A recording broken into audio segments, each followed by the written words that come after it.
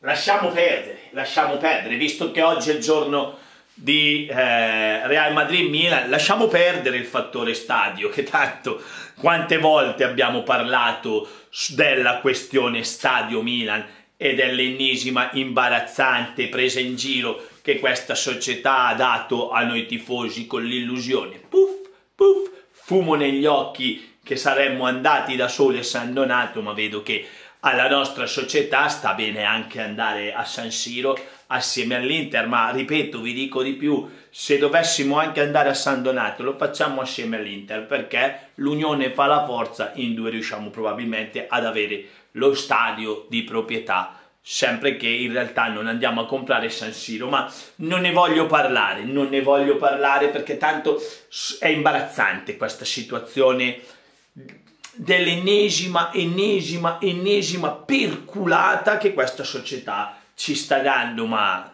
io non, vengo, non sono sorpreso.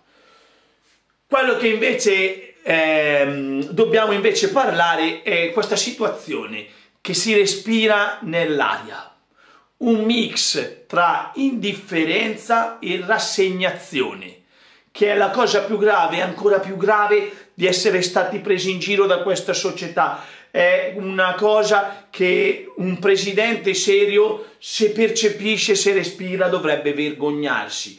Di fronte a una partita come questa, una partita importante di Champions, dove vai a sfidare la storia di questa Champions, che è, Real, che è il Real Madrid, perché è quella che ne ha vinte di più, dove ci sono state sfide leggendarie tra noi e loro, il tifoso del Milan, che accompagna comunque la squadra, 3.800 persone saranno a Madrid, ma questa sfida viene accompagnata da indifferenza, mix, rassegnazione, perché lo, lo percepisco, lo leggo nei commenti.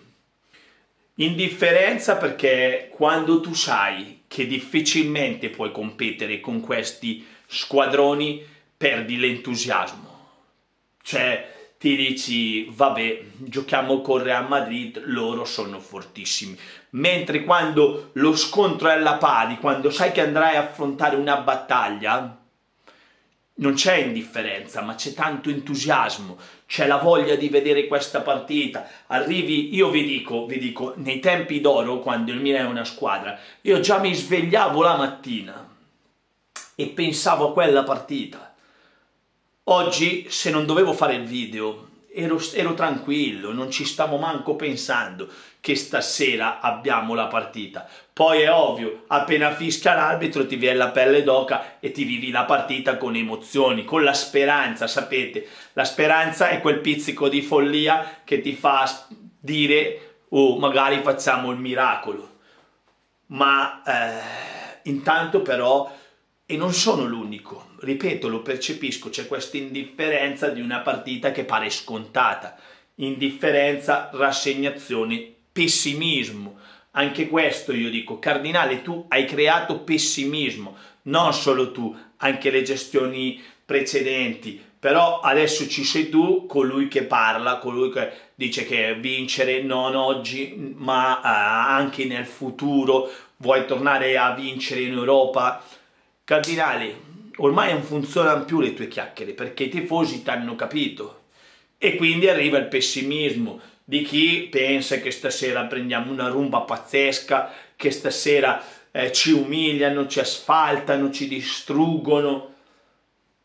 Poi c'è quello un po' meno pessimista che dice ce la possiamo giocare, ma non c'è quella, quella fame del tifoso che dice no, stasera andiamo a Madrid e possiamo vincere. Poi magari sculi vinci e siamo tutti qua a far festa. Io vi sto parlando del pre-match. E pre-match queste sono le sensazioni, le sensazioni reali e di quando vedi una tifoseria con queste sensazioni, tu come presidente hai fallito. Tu come dirigente hai fallito e c'erano tutti i presupposti di poter creare un po' di più di entusiasmo in questa tifoseria se come dirigenti avreste lavorato bene. E parlo da dopo la vittoria dello scudetto, perché lì c'era una base forte di una squadra che aveva carattere e giocava e vinceva. Bastava inserire pian pianino qualche campione. Invece voi avete distrutto e distruggendo la squadra avete distrutto i nostri sogni, le nostre aspettative, le nostre speranze. Detto questo, ripeto, questo è il clima che si respira ora. Poi io sono convinto che anche il più pessimista, appena l'arbitro fischierà all'inizio della partita, spera in cuor suo di vedere un grande Milan, spera di sbancare il Bernabeu.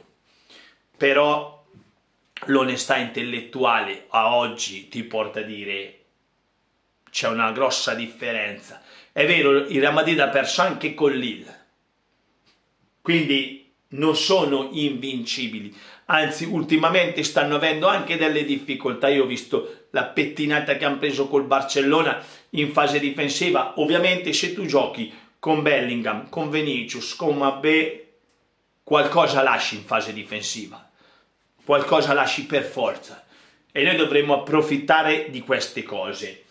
Oggi il Milan scende ovviamente con una nuova invenzione del mister Fonseca col Musa esterno destro al posto di Ciucuezze va bene, probabilmente serve per aiutare Emerson che avrà la strizzarella, anche noi abbiamo la strizzarella che dovrà marcare Venicius che scende giù da quel lato, molta strizzarella perché Emerson non è sta cima.